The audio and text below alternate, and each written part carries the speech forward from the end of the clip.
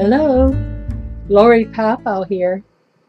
Today I'm going to talk about different final coatings for your eggs, as well as three methods to apply them.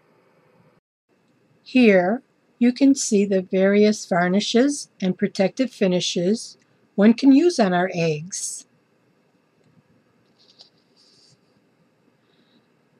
Some people like to use an epoxy. This one comes out thicker, but it produces a beautiful shine. Here are various polyurethane varnishes. Although these are relatively inexpensive and very easy to find, one downside is that over time they will produce a yellow cast to the white parts on the egg. This one is great for producing a crystal clear, very strong finish. But you have to be careful with this because it dries very quickly and is almost impossible to get off your fingers. The golden product is very nice for many reasons, but most especially since it is a removable varnish. If you should make a mistake, you can take it off with some mineral spirits. Also, if the product gets thick over time, you can add some mineral spirits to thin it out a bit. I've had this can for about 10 years already, and the product is still good today as it was back when I first opened it. This is a great product that is UV resistant. What that means is when applied after you remove all the wax from your egg, it forms a protective barrier over your egg to keep out ultraviolet rays.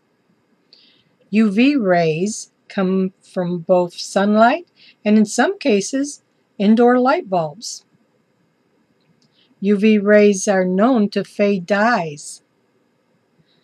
So lightly spraying some of this coating on your egg can help prevent fading of the dye colors in your designs when the egg is exposed to light throughout the years. If you want to use this UV coating, you would spray it on your egg, let the UV coating dry, and then afterwards you can, if you want, apply a final coating of polyurethane. Next, I'm going to show you how to roll the egg. This time, I'm just going to dip my fingers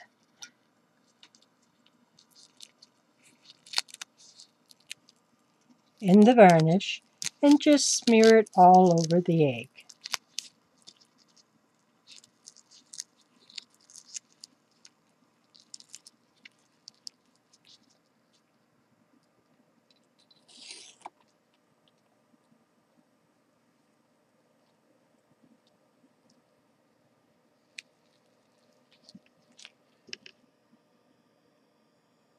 This is how we dip the egg.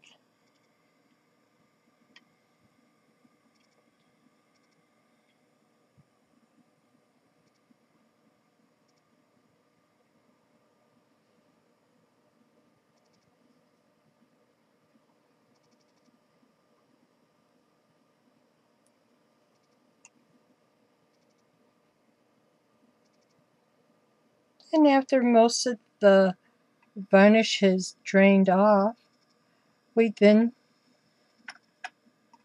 put it on a stand.